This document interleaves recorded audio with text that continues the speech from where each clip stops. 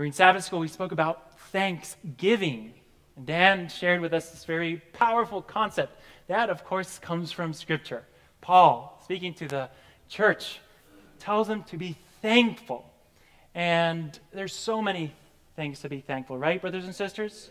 Do you have things to be thankful? I know Dan and Karen are thankful that they're, uh, Danny's here and Sandra's here. And I am thankful today, too, because of Carolina. And tomorrow, we're going to have our sixth year anniversary. Amen? Amen. And I think Joe and Andrea also during this month. Yes. Um, I believe um, um, Michelle's birthday was this month. I think Liz also, Flora's um, birthday. Um, uh, tomorrow, Benny and George's anniversary. Amen. So, so, so July seems to be a very special month. And so we have lots to be thankful for. And I praise God for, for the opportunity to, to worship with each one of you on this Sabbath morning. The title of my sermon is Unmoved. Unmoved. What do you think of when you hear that word unmoved? Solid, fixed, unchanged. Not too many things in this world that are like that, right? It would be hard for us to, to, to think of anything that doesn't change in our world. In fact, too many things are changing a little too fast, wouldn't you say? Too fast. And you might feel sometimes like, wow, this is getting worse by the day. Instead of change for the better, it's change for the worse. And I, it might be in business, it might be in the family, it might be even at church. And we see these powers that are moving, shifting things around us. And we might be feeling like, God, this is going too fast for me. Slow it down. I don't know if I can hold on any longer. Here in Southern California, we, we, we, we know about mountains moving, don't we? Earthquakes. Um, it was about 10 years ago, 1990, no, more than 10 years ago. Wow, 1992, that's 20 years ago now. Wow, what happened? So I was a camp counselor in 1992, believe it or not. And um, I went to Pine Springs Ranch and we had this um, group meeting before um, having all the kids come up to camp that week. And all of a sudden during our meeting, I just felt like, wow, I'm getting dizzy here now. No, and it started to move, and it's everybody's like, oh, it's an earthquake, it's an earthquake. Okay, so everybody just stood still, but 10 seconds went by and got harder and harder, and, and 20 seconds went by, and it didn't stop 30 seconds. What's going on? So everybody just sat down you know? And they said let's let's sit down. It was a 7.1 magnitude. It was in landers california close to joshua tree not too far from camp and everybody felt that earthquake. You heard it as well. It roared right through the valley. And it got louder and louder. And as i sat there that day wow, I'm standing, I'm sitting on something that is at least a thousand times heavier than me, this huge mountain. We would probably say a million times, right? A million times heavier, and it's moving, it's shaking. I thought that was it. Well, we went to our room that morning around 2 a.m., 3 a.m. I felt my bed was moving again. This time was a 6.1 aftershock in San Bernardino. moving my bed, and I thought, oh, it's just another earthquake, you know? so you just lay there, you don't want to get up. It's too early, right?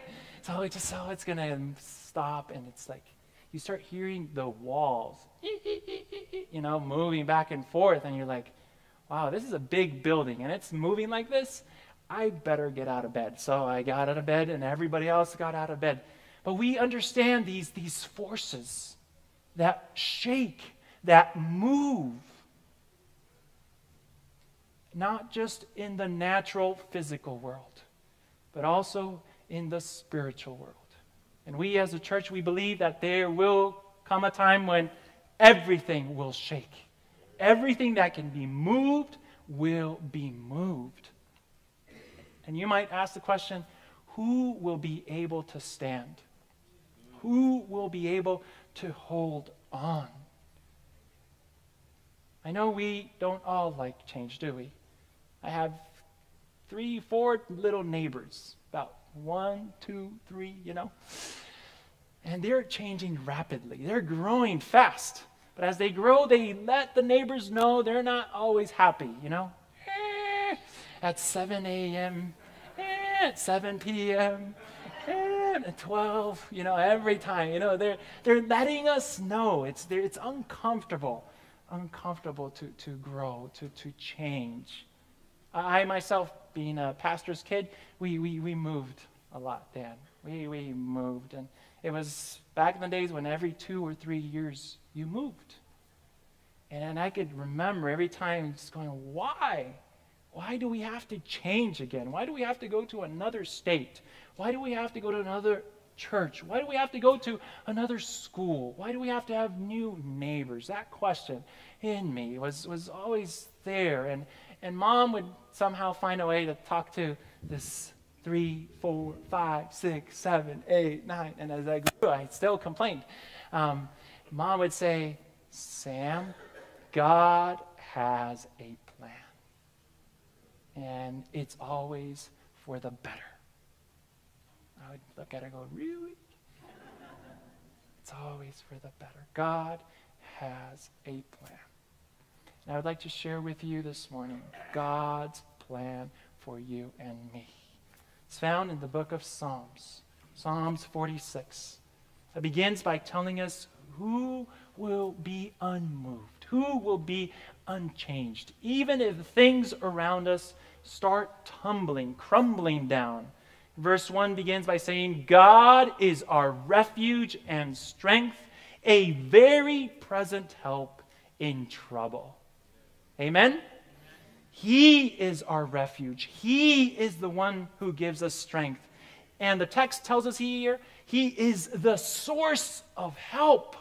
He's an inexhaustible source of help. God is our refuge and strength.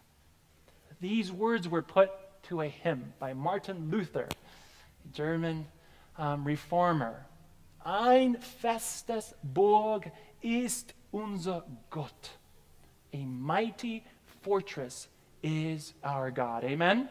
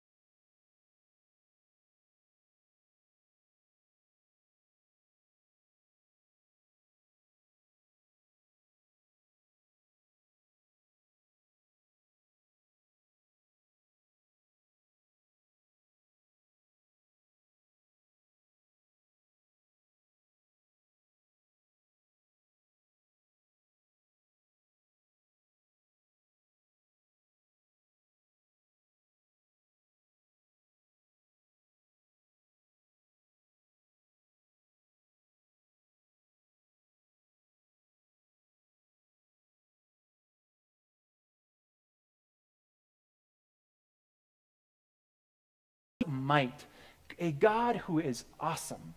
There are other Psalms also, like the Psalms of Lamentation. And what do those express? Sadness. They express difficulty. They express um, turmoil. They express fear of death. And, and those are experiences we all have, right? Correct? And is God willing to listen to those songs as well, brothers and sisters? He, he's willing. He's, he's willing to listen to those songs. And then, there, of course, there are the songs of thanksgiving. And we talked about it in, in Sabbath school, how important it is to be thankful, especially after God has saved us from such a difficult situation. Um, the psalmist expresses his gratitude toward God by expressing it in a psalm of thanksgiving. Verse 4 changes a little bit, and, and it expresses something here. It says, There is a river. Now, a river is a lot calmer than the sea, correct? All those who've been here to the Pacific Ocean, we, we know how rough it can get out there. The waves can get pretty high, and, and the strength of, of the, the current is, is also to be um, experienced and felt. But here it talks about a river whose streams make glad the city of God. And my question to you is what makes you glad? What makes you happy? What is the Bible talking here about? A river, a stream that makes the city of God glad, that makes God's people happy. Would you like to know? I think the text tells us.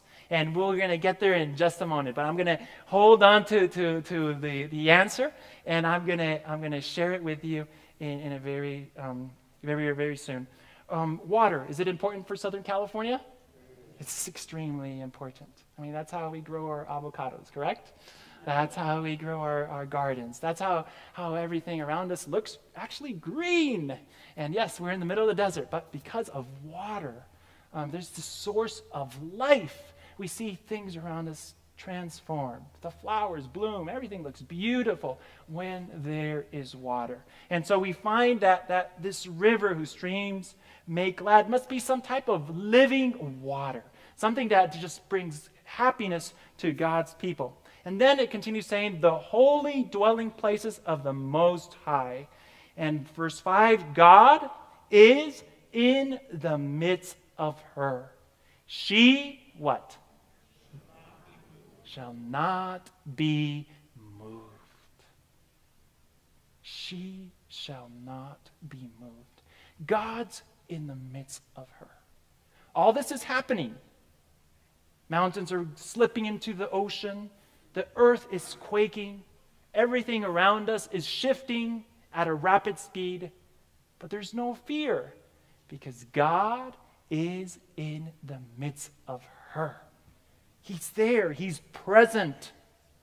He's not oblivious, He has not gone away, He's not forgotten His people.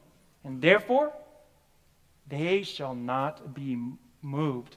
It actually says, God will help her when morning dawns. How many did, did morning come too soon today? Yes, uh, for, for us, yes. Uh, it comes, for me, always too early. Uh, dawn, all of a sudden it lights up, And, And, and especially if you're living out here in Temecula, the sun comes out really quickly. If you're on the coast, there's a lot of fog, so it takes a little while. But, but God says, I'm going to help you quickly. Trust me. I can help you. Don't go anywhere else. Don't put your trust in people. Don't put your trust in what you have. Don't put your trust in, in what you know. Put your trust in God. He's in the midst of his people. The text continues saying, The nations made an uproar. The kingdoms tottered. They moved. They shaked. When they saw this, they, they were desperate. And, and somebody said, Pastor Sam, did you look at Psalms chapter 2? I said, No, I didn't. So I want to invite you just to look there really quick. Psalm chapter 2. And there's a question that the psalmist asks here. Psalm chapter 2, verse 1. And this is the question Why are the nations in, a, in an uproar and the people devising a vain thing. The kings of the earth take their stand, and the rulers take counsel together against who? And against his anointed. There's rage on earth when these things are happening. People are angry at who? At God. And not only at God, but also at his anointed, Jesus, the Christ. They are mad. All around them, it's, it's falling apart, and, and they, they can only find God to blame. Let's go back to Psalm 46. What does God do? Verse 6 says, He raised his voice. The earth did what? Melted. And I want to give you a clue. I believe this river of life is tied to the voice of God. Okay? This river that goes into the city of God is tied with his voice. Um, in other um, passages of, of the Psalms, you find God's voice, and sometimes it's translated as God's thunder. Pretty powerful, amen? And the text here describes it as the earth melts away. There's nothing that is not moved when God speaks. And I believe, brothers and sisters, that God wants to move our hearts today. Amen? He wants to melt them in such a way that we will say, God, thank you. Thank you for all that you give us. Thank you for who you are. Thank you for taking care of my family. Thank you because I am here today. Thank you because I can worship you. And his voice is heard. Verse 7, the response is The Lord of hosts is with us. The God of Jacob is our stronghold. This phrase, the Lord of hosts is with us, sounds so much like Emmanuel, God with us. But it adds the name here, the God of who? Why Jacob? Did Jacob had a, did he have an easy life? Or did he have a hard life? Did he have some big struggles? He did, especially when he was about to meet his brother. Remember that? He, he knew that this was not going to turn out good. He felt like everything that he had worked so hard for was going to disappear in a matter of minutes. His brother was coming to kill him and his family, and he knew it. His brother was still mad, angry. But what did Jacob do at that moment? Did he say, okay, let's everybody let's beef up and, and get our weapons ready and let's prepare because we're going to fight back? Was that his, his answer? No. Who did he seek for? He sought for God in prayer and said, God, I will not let you go until you fulfill your promise to me. God, you said you would make a nation out of me. God, you said you would bless people through me. And you can't do that if I'm dead. You can't do that. God, keep your promise. Does God keep his promises? Amen. He does. He told Jacob, Jacob, you will no longer be Jacob. Now you'll be Israel. A conqueror. Unmoved by the things that are happening around you. The last section of Psalm 46, verses 8 through 11, is an invitation from God to all nations. And he says, Come, behold the works of the Lord, who has wrought desolation in the earth. What does he do? He makes war to cease to the end of the earth. He breaks the bow and cuts the spear in two. He burns the chariots with fire. Does God love war? No, he hates it. And he will put an end to war. Amen? On that great day, he will, war will cease to exist. He will break every bow, every spear, every chariot will, will, burn, will burn. And verse 10 tells us, cease striving. He's telling this to the nations. Cease moving. Cease doing your own will. and know that I am God. Know that I am the Creator. Know that I am the Redeemer. Why can't we accept that? Why can't we acknowledge that? Why is it so hard for us human beings to, to, to, to just not see what God is doing for us on a daily basis? And this is what God is inviting these nations stop it. Stop your wars. Stop your transactions. And know that I am God. And he tells them the end of the story. The end of the story, brothers and sisters, is not chaos. The end of the story is not just total destruction. The end of the story is not total desolation. The end of the story is presented here in verse 10. It says, I will be exalted among the nations. I will be exalted in the earth. Amen. That is God speaking to these nations, telling them that He will win at the end. On whose side do you want to be? On God's side, wouldn't you? I, I want to be on that side.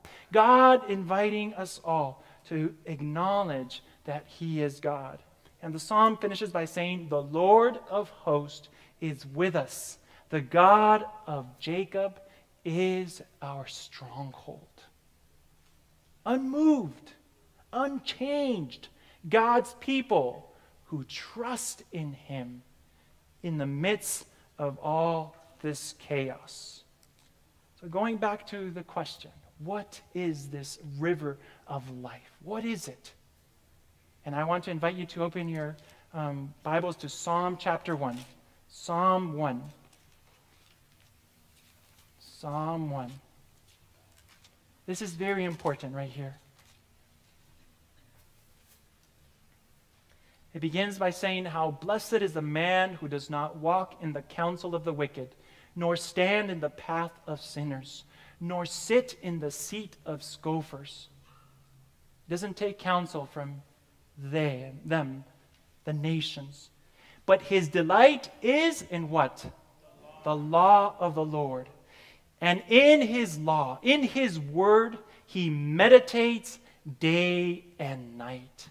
And then he compares such a man to something. And this is where it jumped out at me.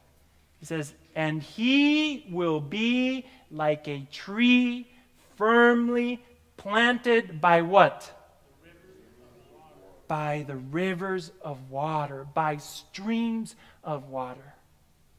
As I read this, I said, Wow, this is a pretty healthy tree. How many of you have one of those trees? Um, as a kid, I, I, I loved to just go up a tree. And the tree that we had in our backyard, it was higher than this roof right here, the ceiling. It was just, it went up. And I was, I think, seven, eight. No, I was eight, nine now, and, and I would go up that tree. And I would just sit at the top of that tree and look around me and just let the wind blow and just sway me back and forth. And I was so glad that this tree was a healthy tree by streams of water. Yes. It was green, it was strong. I knew nothing would move it out of its place. And so are those who put their trust in God. So are those who take time to meditate on His Word, unmoved. God is saying, take time to study my word. It will make you glad. It will make you happy. In fact, it says what happens to, to the wicked. Verse 4 The wicked are not so, but they are like what? Chaff. They're like tumbleweed. They're like super dry. And the wind comes, and where do they go? With it, anywhere, exactly. They're, they're moving constantly. That, that's the, the opposite. They, they're not by streams of water. They've put their confidence, their trust in themselves, and thus they are driven here and there. In verse 5, it says, Therefore the wicked will not stand in the judgment, nor sinners in the assembly of the righteous. Do you want to stand in the assembly of the righteous? I want to stand in the assembly of the righteous. I, I want to be glad in the Lord. I want to meditate in His word. And Jesus gives us a promise. And I conclude with this promise found in Matthew chapter 7, verse 24 and 25. If you have your Bibles, open it to Matthew chapter 7, verse 24 and 25. And it says like this Therefore, everyone who hears these words of mine, what words? Jesus' words. Everyone who hears these words of mine and acts upon them and does them may be compared to a wise man who built his house upon the rock. And the rain descended, and the floods came, and the winds blew and burst against that house, and yet it did not fall, for it had been founded upon the rock. Amen?